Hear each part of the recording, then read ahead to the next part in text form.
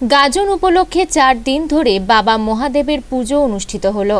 পূর্ব বর্ধমান জেলার মন্তেশ্বর ব্লকের অন্তর্গত মধ্যমগ্রাম পশ্চিমপাড়ার শিব মন্দিরে একশো বছর ধরে গাজন উৎসব পালন হয়ে আসছে।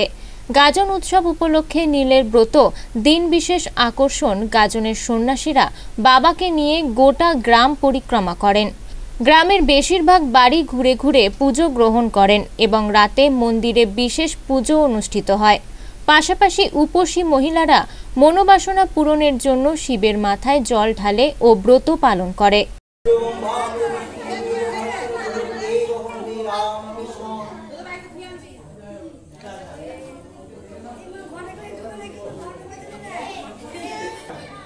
এখানে বাবা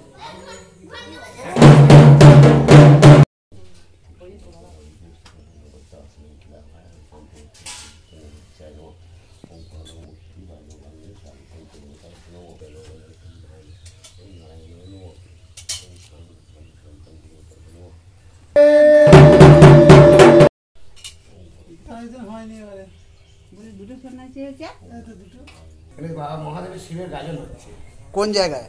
মধ্যমগ্রাম পশ্চিম পাড়ায়। এটা কত বছর ধরে হয়ে আসছে? এই আমাকে নিয়ে তিন বছর তিন বছর তিন পুরুষ চলছে। এই আজকে কি উপলক্ষে পুজোটা হচ্ছে? নীল পুজো উপলক্ষে আর কি কি অনুষ্ঠান হয়েছে?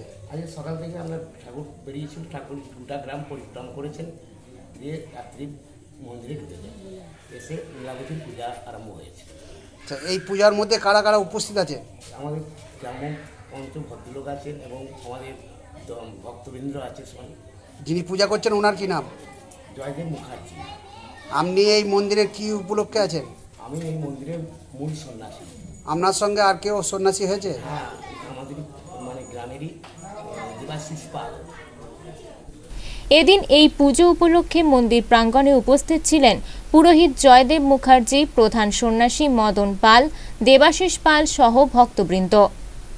মন্তেশ্বর থেকে মৃত্যুঞ্জয় যশের রিপোর্ট আনন্দবার্তা